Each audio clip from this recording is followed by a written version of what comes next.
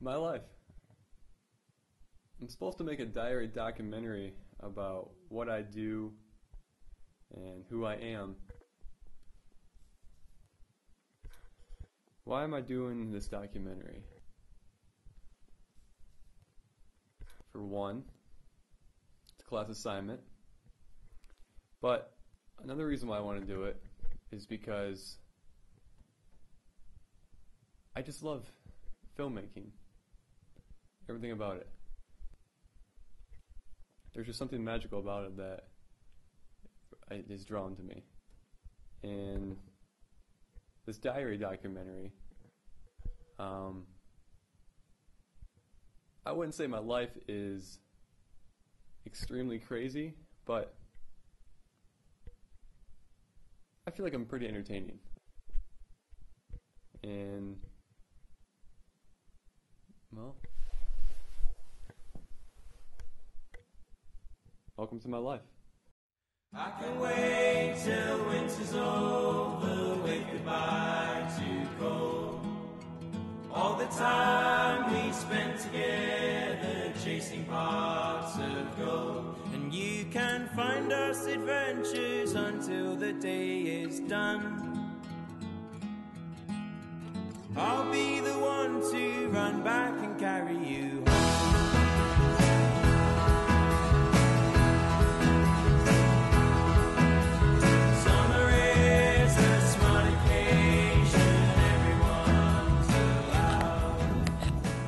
All right, you're on camera.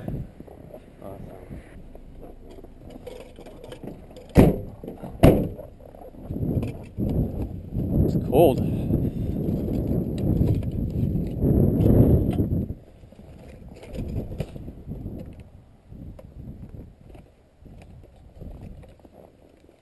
I work for a company called Air Advantage. And what we are, we are a wireless internet company that uh, provides high speed wireless internet in rural areas.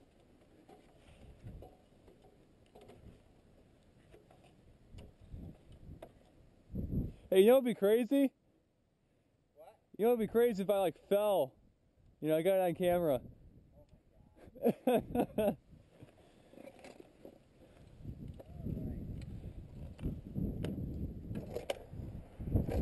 I think on the way to our next job, I'm just gonna have you put together a Yagi. Yeah. Just in case. One of those black ones? Yeah. Just do it inside the truck. That's way it's wa- that way it's warm. It's not bad. In the wintertime, it's horrible because it's cold. I hate the cold as it is. Snowing decently. I guess we're gonna get about two inches. About 23 degrees out, or 12 according to my laptop. So it's actually worse. But why we come back inside this truck so we can warm up.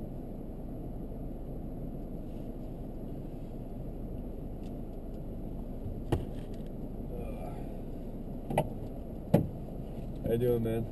Good. Good.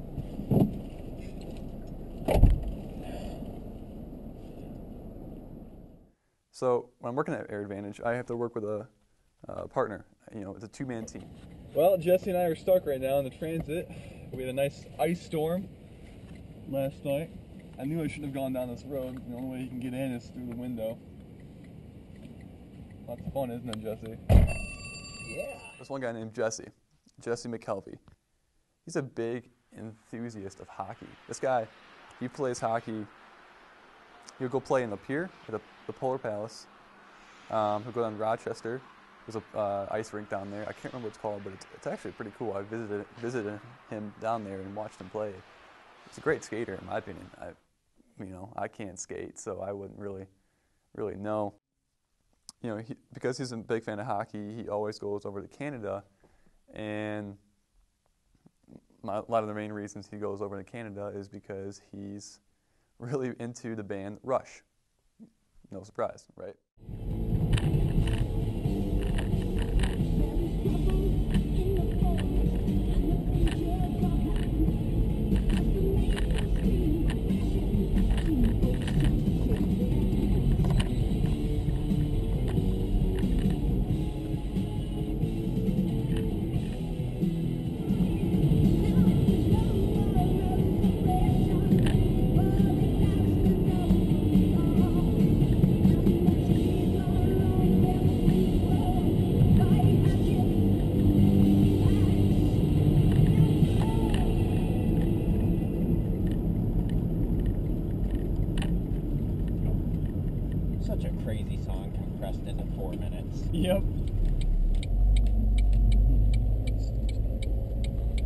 That guy just blew by that stop sign.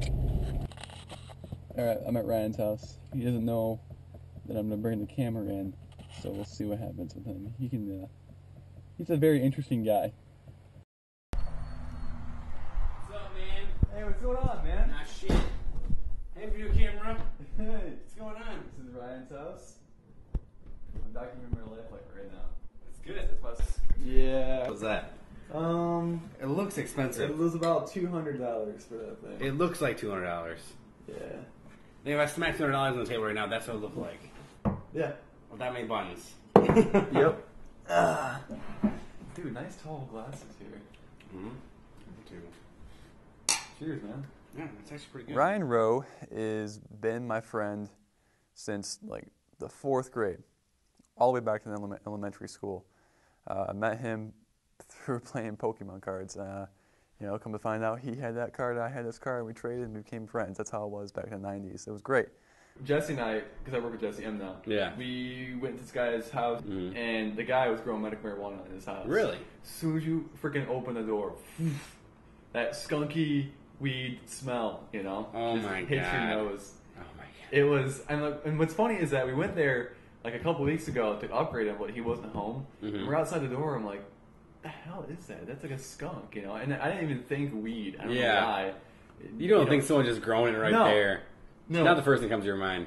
Like, no. Damn, dude, you reek of weed. Do I? Oh, it's crap. It's Oh, that's not good. Well, it's probably because you just you carried it out with you. Roswell. Do we smell like weed? Mm, you don't know until you somebody else tells you. That's the thing about weed. Yeah, I hope. You guys were high, knowing our luck. Yeah. We're like, got some explaining to do, huh? No, we weren't doing that. We went to a guy's house. Yeah, he was growing medical marijuana. That'd be tough to explain. And turns out the guy was a medical marijuana grower. As soon as we walk in, as soon as we walk in, he goes, "Just to let you guys know, I'm a medical marijuana grower, so don't freak out about all this stuff." I'm like, "Yeah, I can smell it, dude." That's the first thing. I said. I'm like, "No, I can smell it." And you're high as a. if you guys don't feel comfortable coming in, I'm like, "No, I'm, I'm fine. How about you show me?" so he did. He actually showed me. He's got one plant in this there, and he's got like three other ones just by themselves. And the Yeah. one was pretty much like a week away from being harvested. Oh really? So the buds were on there nice and big, mm-hmm. probably as big as like my keychain, pretty much. Oh yeah. And it was beautiful. Bad brake turned out to be a busted coil spring. Yeah. And we can't get the tire back on with that spring in the way. All right, well I changed, uh, got my car back, and I uh, changed out the struts, and hopefully it'll run great. I'm about to do a test drive right now, and yeah, should be good. I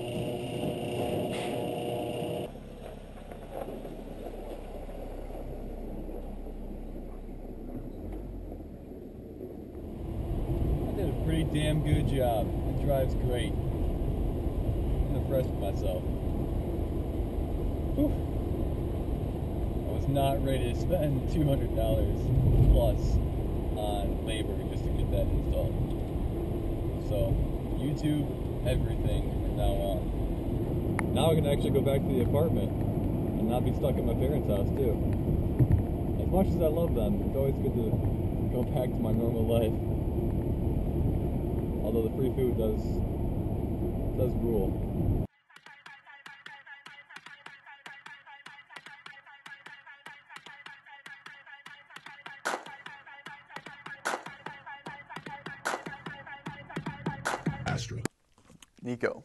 Nico, Nico. Nick. Nicholas, yeah, I- call him Nico. That's- how I put him in my phone, Nick. Um, he is an aspiring electronic artist from like the Metro Detroit area, so Rochester. I met him in he lives in Rochester, and he does a lot of dubstep style music. Where'd you find this? Within 30 seconds of meeting this woman on a train, he pretty much solidifies the fact that he's going to be banging her tonight. I met him through one of his previous events, I wanted to help out with it, and they were putting on a show in Pontiac at the Crofoot. Um, it was called Get the Bass, and I was thinking, you know what? Maybe what if I just message them on the Facebook event or the page, and you know, if they say no, then they say no. But so I did. The next day, he messaged me through Facebook, and he started asking me if, if I wanted to film at the concert, and I said yeah, and it just took off from there.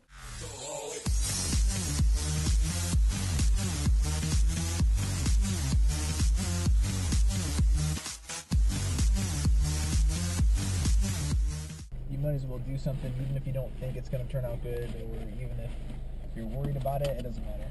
Because at the end of the day, you either did it or you didn't do it, and if you didn't do it, there's no chance for it to possibly come out well. There's no chance for anything. True. You learn. You learn from what you experience. As Maddie said, a closed, I don't know, I don't know who we got it from, but a closed mouth doesn't get fed. There you go. You miss 100% of the shots you don't take. If I drop this, it's gonna break. Please don't tell me that. I mean, I just, I just, I, I want to be able to wear it right here, but I don't want to damage it. I got to know him after the concert um, just by small talk and just kind of laid out the idea that I want to do a photo shoot for him so he can do he can put it onto his EP album. We'll see. It depends on if I can just like crack down these next couple weeks, not go out. I'll have it done, no problem. Oh, I'm sorry. I did a Skrillex tribute that I'm gonna drop soon. It's I Oh, recorded you- 12 Skrillex songs. Did you upload this yet? No, No. I'm saving it. I'm saving it for when I drop the EP. So because I know I'm feeling it'll it'll go over fairly well. Hopefully. Okay. So this is a preview right here. No. It sucks. I have an exam tomorrow. I've got an exam Monday on uh, screenwriting, so I gotta know all my terms for that. Nice. Yeah, so as you can tell, we are in the complete opposite fields right now. Making this diary documentary has kind of exposed me to the idea of doing documentaries by yourself and how challenging and yet rewarding it can be.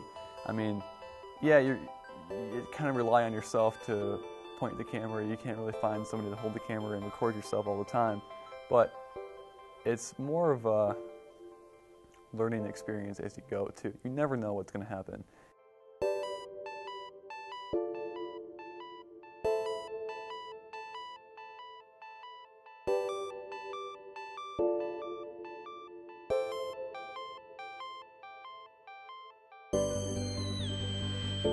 Yeah, so this documentary is more about my life right now. Uh, a lot of lessons to be learned. I can't wait to keep going on in this, and I'm extremely excited just to be done with uh, this program and, and, and be able to expand on more things so I can have more time to do it.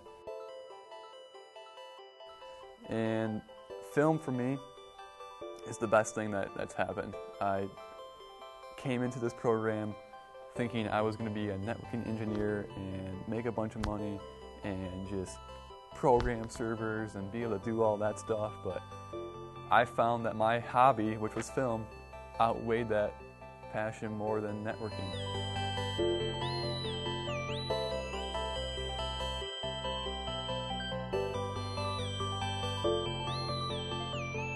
I'm in a great place right now. I'm around a lot, around a lot of great people that I care about and they care about me and they enjoy and respect my work. So, so far, film, everything about it I just love. And when I look back on this, I can't wait to see what accomplishments I've done.